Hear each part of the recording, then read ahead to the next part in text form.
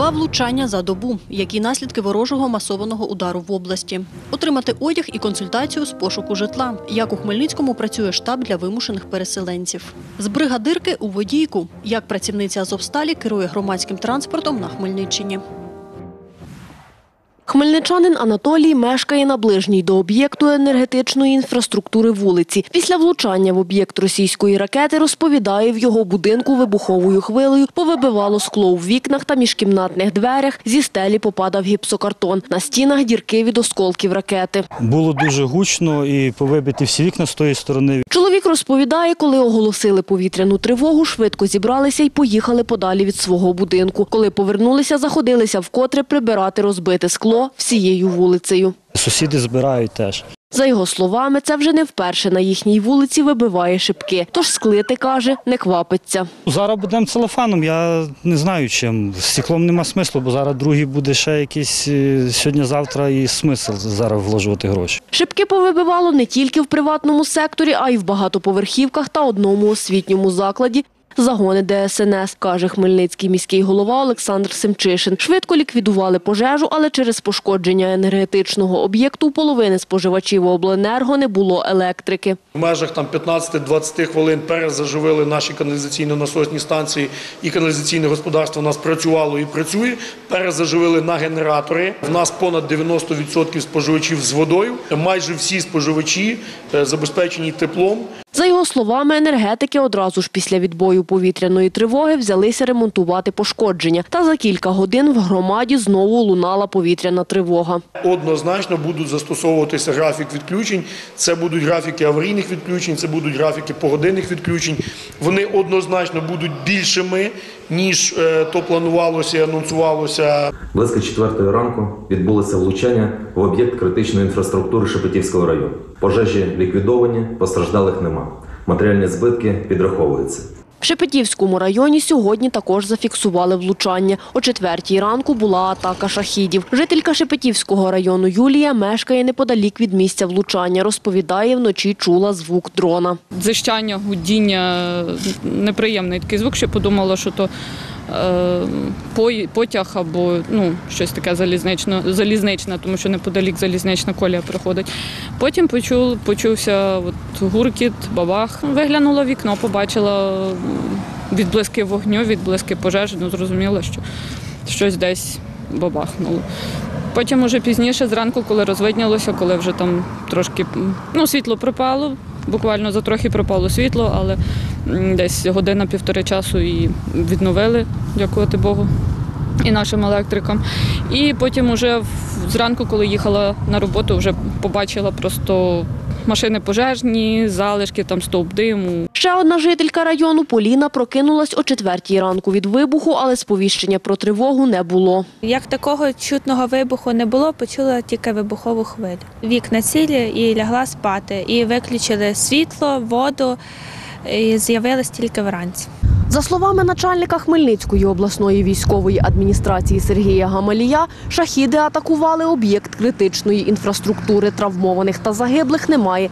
За коментарем стосовно можливих перебоїв з постачанням населенню електрики, води, тепла та газу, ми звернулися до начальника Шепетівської районної військової адміністрації. На роботі його не було, на телефонні дзвінки не відповідає. Внаслідок масованих атак в нашій області одна із найскладніших ситуацій з енергозабезпеченням.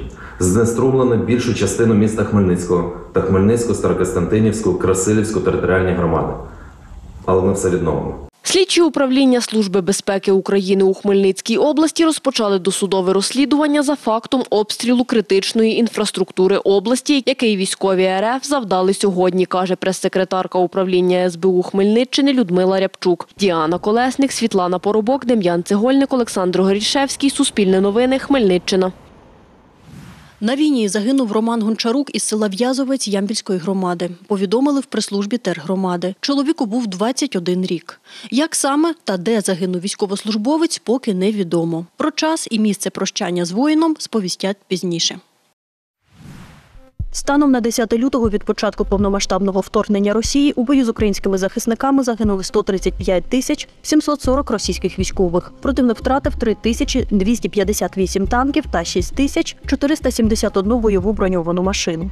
Збройні сили України знищили 2251 артилерійську систему, 463 реактивні системи залпового вогню та 233 засоби протиповітряної оборони. Від 24 лютого українськими військовими знищено 295 літаків, 1970 безпілотних літальних апаратів та 286 гелікоптерів, 5126 одиниць автомобільної техніки та автоцистерн, спеціальної техніки 211. За 352 дні повномасштабного вторгнення Росії на територію України ворог втратив 18 кораблів та катерів, збито 796 крилатих ракет.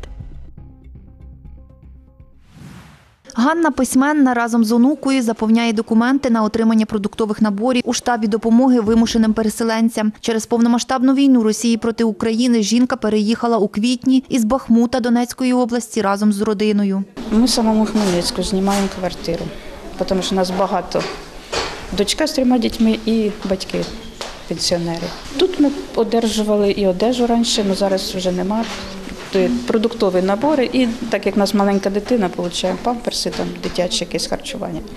Так що і кровать ми заказали, повинно бути ліжко.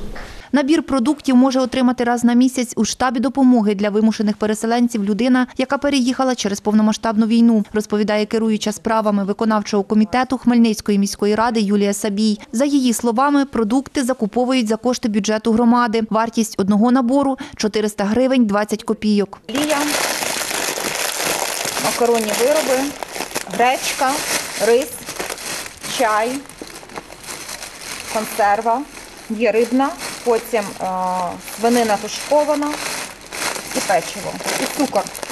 Для отримання такого набору потрібно мати із собою документи та заповнити заяву, розповідає працівниця штабу Людмила Горобняк. Допомагаю заповнювати да, документи. Людина має з собою мати оригінал довідки ВПО, ідентифікаційний код та паспорт. 38 тисяч внутрішньо переміщених осіб зареєстровані через управління праці та соціального захисту населення в Хмельницькій громаді. Про це розповідає Юлія Сабій. За її словами, продуктовий набір на кожну особу ці люди можуть отримати раз на місяць. За потреби можна взяти борошно та крупи додатково. Це робила Ірина, яка переїхала з Херсонської області.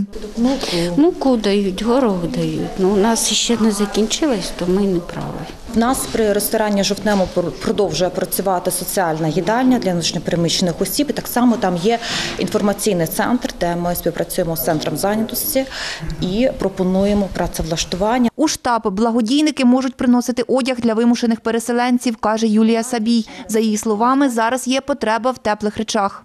Це е, зимове взуття. Звичайно, що на раніші періоди це осіннє взуття. Ми Просимо, щоб до нас приносили по можливості ковдри, подушки, постільну білизну. Ми просимо на штаб допомоги вимушеним переселенцям приносити одяг сюди. Тут же ми будемо дивитися, який він, і через виставкову залу торгово-промислової палати, де в нас є видача одягу для внутрішньопереміщених осіб і малозабезпеченого населення громади. Та можна буде звичайно, що його отримати. За словами Юлії Сабій, щодня штаб допомоги вимушеним переселенцям відвідують 300 людей. Вікторія Мельник, Віктор Кривий, Суспільне новини, Хмельницький. Melnický.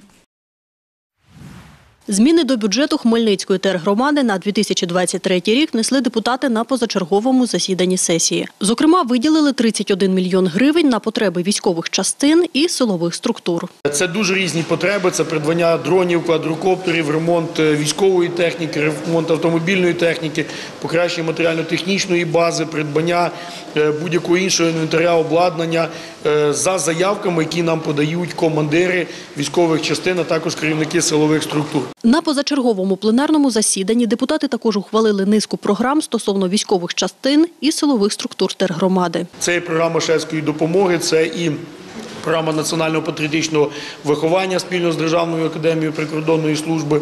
Це і програма е, по антитерору спільно з службою безпеки України. Ну і це власне програма забезпечення громадської безпеки спільно е, з національною поліцією.